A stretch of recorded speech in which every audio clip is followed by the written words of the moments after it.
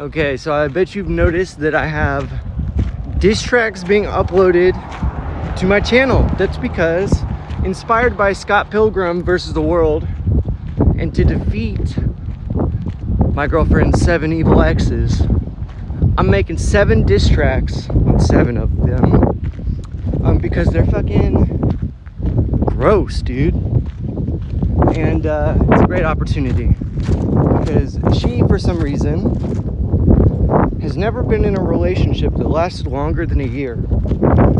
I haven't been in a relationship that lasted less than three. So I told her, if you're gonna date me, we're in it for the long haul, we're gonna make it work. We're gonna make that shit last.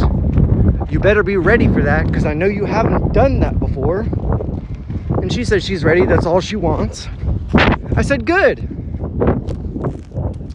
And so, since she has so many exes of like fucking three months and they're grody, it's a great opportunity for a creative pursuit uh, for seven diss tracks. So I've got four of them down, three more to go. That's why I'm uploading them to the channel. It's a creative pursuit, it's something for me to do. I need a creative project. And so this is it. So enjoy the endeavor.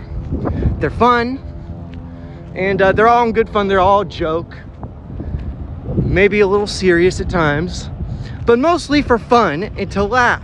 So enjoy them. Bye.